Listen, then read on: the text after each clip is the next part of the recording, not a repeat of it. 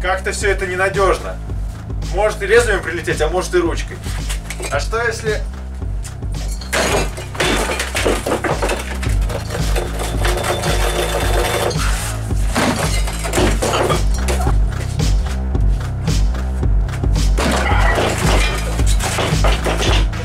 Пидорас!